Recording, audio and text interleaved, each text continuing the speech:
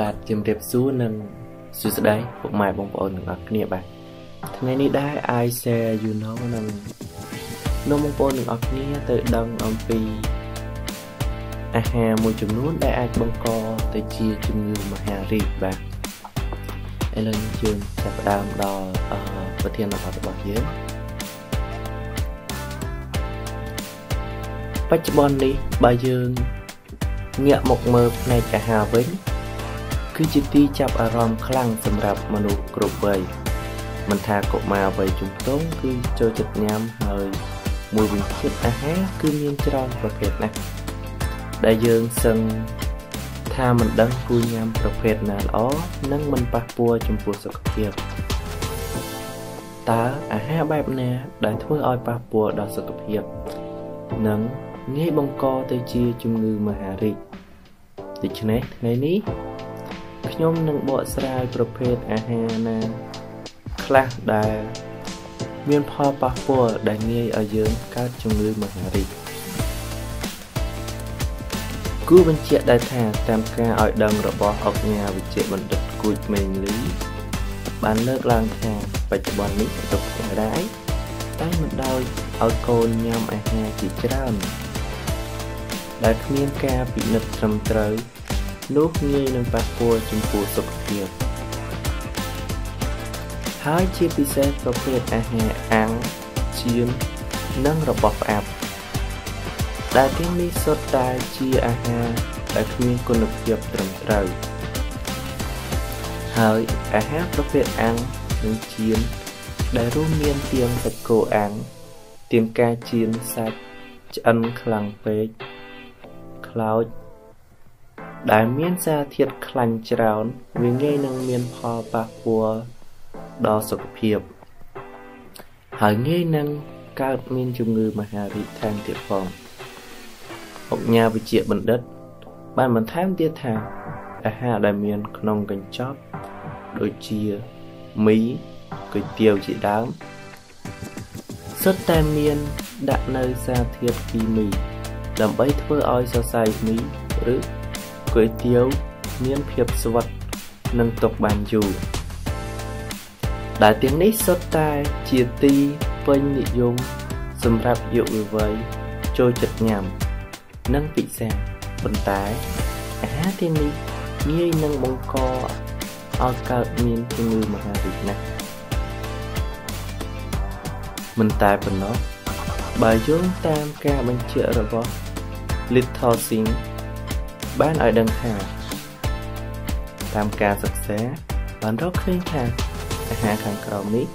ងាយនឹងមានផលប៉ះពាល់ចំពោះសុខភាពប្រសិនបើអ្នកទាំងអស់គ្នា មិនកាត់បន្ថយឬឈប់ញ៉ាំទេ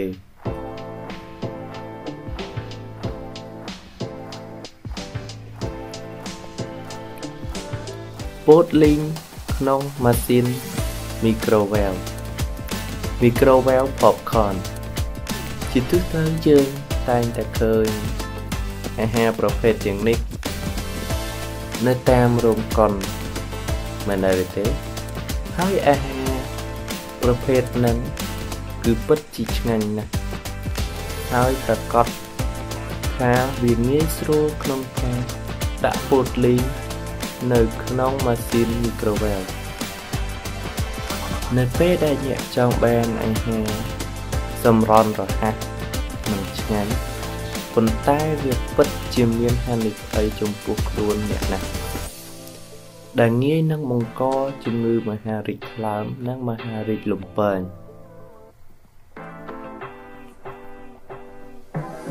អាហារកំប៉ុងសារធាតុដែលបំផ្លាញសុខភាពដ៏ធំបំផុតក្នុងអាហារកំប៉ុង ដែលមានសារធាតុម្យ៉ាងហៅថា BPA ឬ BPA សារធាតុគីមីដែលប្រើក្នុងកំប៉ុងនិងដបបានផ្ដល់ផលប៉ះពាល់យ៉ាងខ្លាំងដល់សុខភាពនិងបង្កជាជំងឺមហារីកជាពិសេសគឺជំងឺមហារីកសូដំ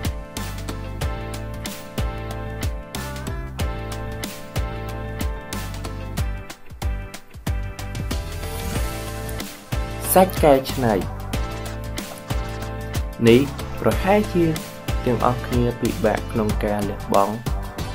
នំសាំងវិចហើយដែលមានរសជាតិឈ្ងុយឆ្ងាញ់ពីព្រោះថានៅក្នុងនំសាំងវិចមានសាច់កែច្នៃហើយសាច់កែច្នៃត្រូវបានបង្កើតឡើងដោយអំបិលនិងសារធាតុគីមីហួសប្រមាណ ដែលធ្វើឲ្យមានផលប៉ះពាល់ដល់សុខភាពរបស់យើងការសិក្សាមួយរយៈពេលជាង13ឆ្នាំបានបង្ហាញថាមនុស្សម្នាក់ក្នុងចំណោម17នាក់បានស្លាប់ដែលដោយសារតែបរិភោគសាច់កែច្នៃ160ក្រាមនោះគឺជាហានិភ័យ44%ដែលធ្វើឲ្យកើតជំងឺមហារី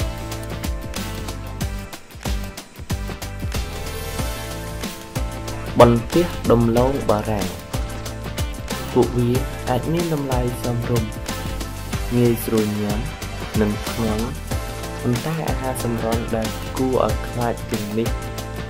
ក៏អាចមានគ្រោះថ្នាក់ដល់អាយុជីវិតផងដែរអាហារដែលមានជាតិខ្លាញ់ទាំងនេះមិនត្រឹមតែបង្កឲ្យឡើងទម្ងន់នោះទេថែមទាំងបង្កឲ្យមានជំងឺផ្សេងផ្សេង ទៀតផងដូច្នេះសូមឪពុកម្ដាយនិងយុវវ័យទាំងអស់គួរតែកាត់បន្ថយការញ៉ាំអាហារខាងក្រៅជាពិសេសគ្រឿងកញ្ចប់កំប៉ុងហើយសាច់អាំងជាដើម ដែលសុទ្ធតែជារបស់ដែលគ្មានគុណភាពទេបើអ្នកចង់បានសុខភាពល្អគួរតែជៀសវាងអាហារទាំងអស់នេះឲ្យបាន បាទអញ្ចឹងគឺអឺប្រធានបទរបស់យើងនេះគឺត្រូវបានបញ្ចប់ហើយគឺយើងលើកឡើងអំពីអាហារមួយចំនួនដែលអាចបង្កទៅជាជំងឺមហារីកបាទអញ្ចឹងសូមបងប្អូនដែលឧស្សាហ៍ទទួលទានអីអឺមេត្តាកាត់បន្ថយខ្លះទៅបងប្អូនទាំងអស់គ្នាបាទព្រោះអីវាមិនជាល្អដល់សុខភាពយើងប្រហែលទេវា អាចប៉ះពាល់ដល់សុខភាពយើងធ្ងន់ធ្ងរមែនតើគឺអាចបង្កទៅជាជំងឺមហារីកបាទអញ្ចឹងថ្ងៃនេះខ្ញុំក៏សូមជម្រាបលាបងប្អូនតែត្រឹមប៉ុណ្ណេះអរគុណសម្រាប់ការតាមដានទស្សនារបស់បងប្អូនទាំងអស់គ្នាបាទហើយចំពោះអ្នកដែលមិនទាន់ចុច Subscribe កុំភ្លេចចុច Subscribe និងដាក់រូបកណ្ដឹងដើម្បីឲ្យទទួលបាននៅព័ត៌មានថ្មីៗជាបន្តបន្ទាប់ទៀតដែរ អឺជាចុងក្រោយខ្ញុំសូមជូនពរបងប្អូនទាំងអស់គ្នារស់ស៊ីទទួលទានមានបាននិងសុខភាពល្អទាំងអស់គ្នាបាយបាយ